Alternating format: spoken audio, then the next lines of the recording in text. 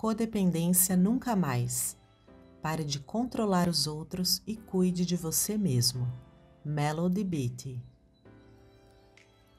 Na década de 1980, na tentativa de vencer o próprio sofrimento, fruto de um casamento conturbado, Melody Beatty resolveu escrever um livro sobre codependência. Cinco anos se passaram e, com o casamento já acabado, ela finalmente colocou a ideia em prática sem ser especialista no assunto, contando apenas com sua experiência pessoal, ela decidiu que o livro deveria ser informativo e acolhedor. Afinal, era isso que a autora precisava cinco anos antes, e era disso que todos que sofrem da codependência precisam sempre: carinho e informação.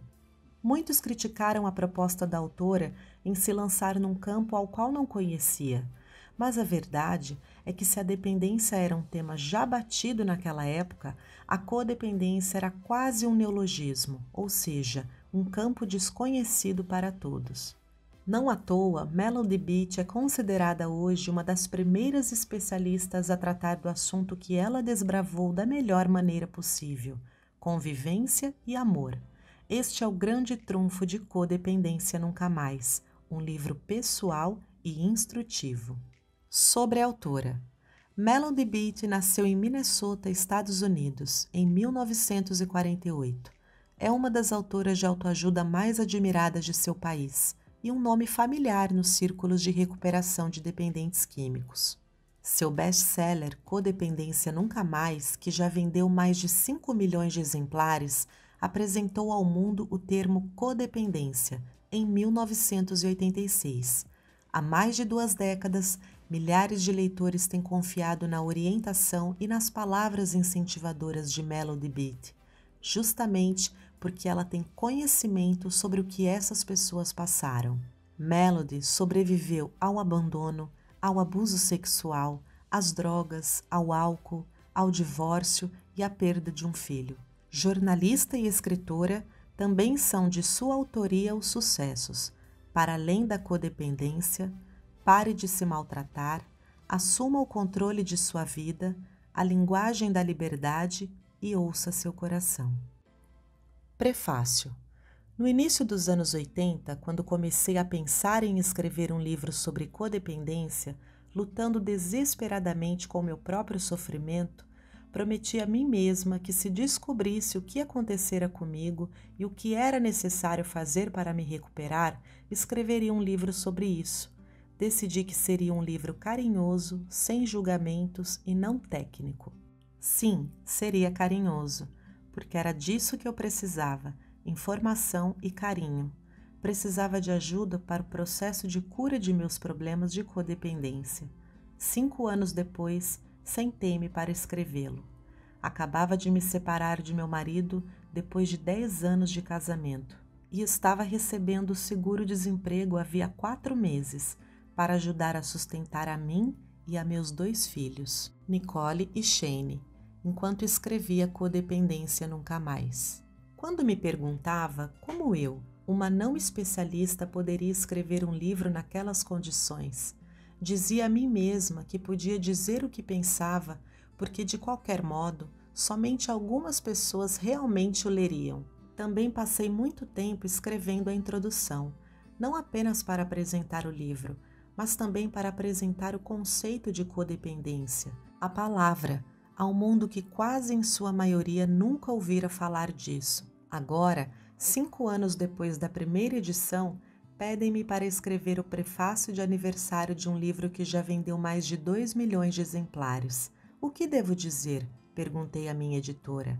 Conte sobre as mudanças que aconteceram com as mulheres, com as pessoas em nosso país, com você, desde que escreveu o livro, sugeriu ela. Hum, pensei. Que mudanças ocorreram além da Guerra do Golfo e do desabamento da União Soviética? Liguei a televisão, o filme da semana não me lembro o nome. Era sobre uma adolescente que tentava lidar com o alcoolismo e com o impacto de ter sido violentada.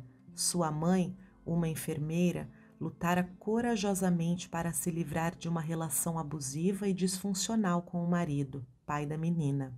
Ao longo do filme, mãe e filha conversam abertamente sobre não tentar salvar uma a outra, porque isso não funcionaria.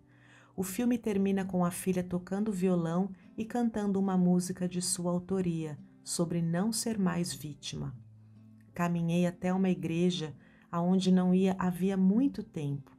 O sermão é um pouco diferente nesse frio domingo de inverno. O pastor fala de coração aberto, dizendo à congregação que está aborrecido por liderar uma igreja baseada em vergonha, medo, culpa e desonestidade. Em vez disso, afirma ele querer fazer parte de uma igreja que seja baseada em igualdade, honestidade, intimidade, aceitação e na força da cura pelo amor de Deus. Quer fazer parte de uma igreja onde possa escolher seus próprios temas e onde as pessoas tenham relações honestas e saudáveis umas com as outras e com Deus. Minha filha chega em casa depois de sua primeira semana em uma nova escola. Sabe de uma coisa, mamãe? diz ela. Todos os dias, na minha classe, lemos uma meditação tirada do seu livro, A Linguagem da Liberdade.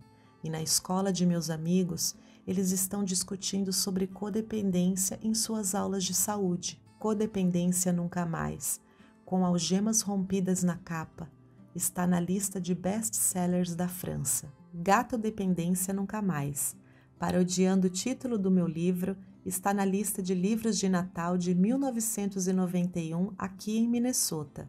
Algumas coisas mudaram.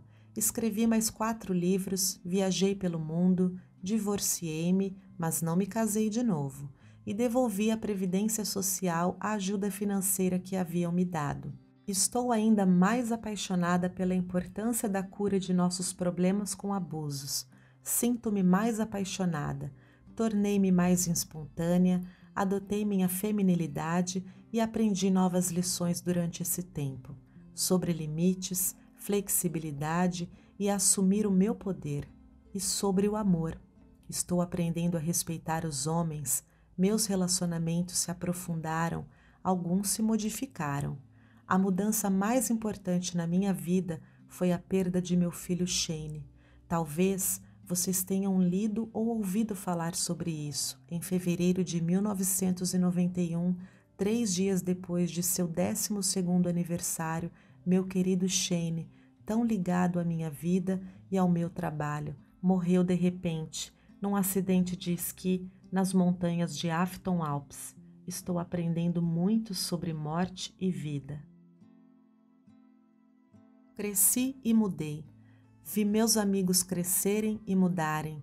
Muitos de vocês me escreveram sobre crescimento e mudança. Ainda luto com os sentimentos e em confiar em meu processo, meu caminho e meu poder superior. Às vezes ainda sinto medo, às vezes esqueço-me e tento controlar tudo. Posso tornar-me obsessiva se não me segurar. E apesar dos anos na lista dos best-sellers, a pergunta mais comum que ainda me fazem as pessoas e a imprensa é: o que exatamente é codependência? Algumas coisas não mudaram, pelo menos não muito. Ainda me recuso a ser uma especialista e permanentemente recuso o título de guru, mas ainda estou disposta a lhes dizer o que vejo e em que acredito. Outras coisas, embora pareçam não ter mudado, mudam constantemente. Nossa consciência como indivíduos e como uma sociedade foi despertada. Descobrimos que as mulheres têm almas e os homens têm sentimentos, e aprofundei-me muito mais no meu processo de cura do que imaginava. Não sei o quanto meus livros contribuíram para despertar essa consciência nem o quanto o despertar dessa consciência contribuiu para os meus livros, mas sou grata por participar do que já está acontecendo. Sinto-me honrada por fazer parte de um movimento influenciado por pessoas como Annie Wilson, Steph, John Brastey, Patrick Keynes, Ernie Larsen e liderado por pessoas como vocês, meus leitores, os verdadeiros heróis, que fazem silenciosa e profundamente seu próprio trabalho de cura e transmitem sua mensagem aos outros, principalmente através de exemplos. Conheci muitos leitores em minhas viagens pelo país inteiro. Alguns de vocês me escreveram, Obrigada pelo amor, pelo apoio e pela compaixão que demonstraram não somente através dos anos, mas durante os duros e sofridos meses após a morte de Shane em 1991. Muitos de vocês me escreveram dizendo o quanto eu os ajudei. Bem, vocês me ajudaram e emocionaram também. Uma mulher me escreveu recentemente dizendo que havia lido todos os meus livros e que estava se recuperando da codependência havia anos. Mas desejo aprender mais, disse ela. Quero me aprofundar em minha codependência. Por favor, escreve mais sobre isso. Talvez não precisemos nos aprofundar em nossas codependências.